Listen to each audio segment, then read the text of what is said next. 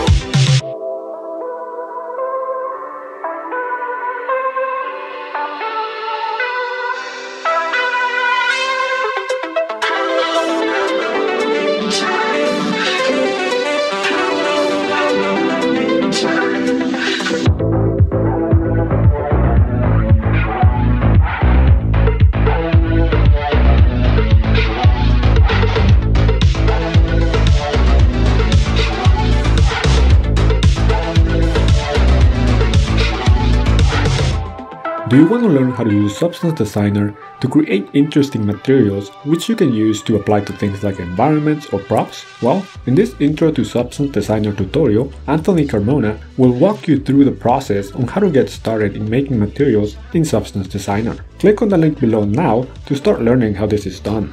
Anthony will start you off by explaining the theory behind physically based rendering, and from there he will show you the ropes to get started with the most useful nodes found within Substance Designer. This is a perfect tutorial for anyone who is new to Substance and would like to learn how to get started. This tutorial also includes a bonus lesson where Anthony will show you how to present a material through lighting and rendering using Marmoset Toolbag. Hey, so this is a very short video ad, so there's not enough time to cover everything. Click on the link in the description now to get started.